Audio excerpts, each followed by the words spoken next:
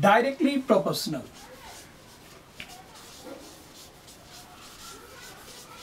What is the meaning of this directly proportional? Let's say 10 rupees is the cost of one book. Then suddenly 20 rupees will be the cost of two books.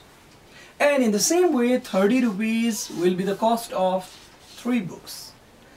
If number of books are represented by n and the cost is represented by t total cost then look at this number when total cost increases, number of book also increases. When total cost decreases, number of book also decreases.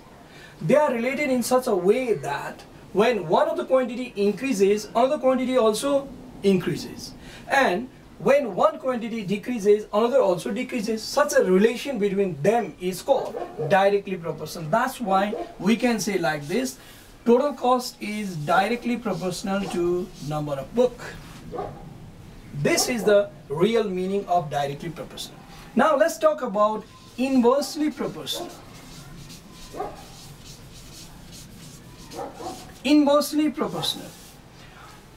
Let's say we have four rooms and we are going to uh, we are going to use paint on the rooms on the wall of the room.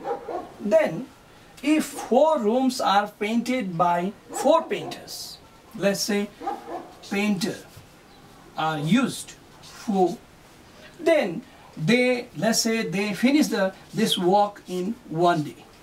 If instead of four painter if we are using only two painters certainly they will take more time and they will take two days to finish the work if only one of the painter is used then certainly it will take four days to finish the work now, look at this relation, what kind of relation we have between the painter and number of days required to finish the work. When the painter, number of painter are decreasing, then the number of days required to finish the work are, is increasing. It means when one of the quantity decreases, another quantity increases. Or just opposite of this, if the first quantity is increasing, then second quantity is decreasing. This type of relation is just opposite than that of the previous type of relation. In this case, number of painter is inversely proportional to the number of days required to finish that work. This is the real meaning of inversely proportional. Now, if any quantities are proportional to each other, then one of the rules says, the rule of physics says that if quantities are proportional with each other, then there must be a constant between them. And we can convert this proportional sign into equal to sign, but we have to take the constant which involves between them.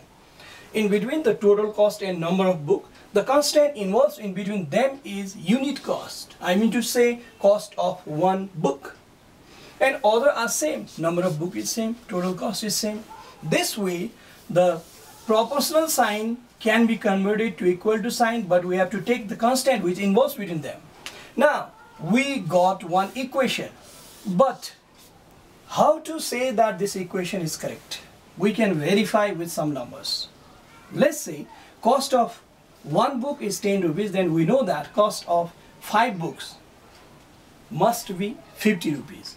Now if number of book is 5 then we know unit cost is 10 and the total cost is certainly 50 it means this equation is correct.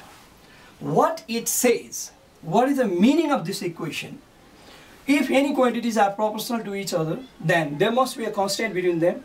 This constant can be taken to convert proportional sign into equal to sign and we will get an equation. That equation can be used in calculation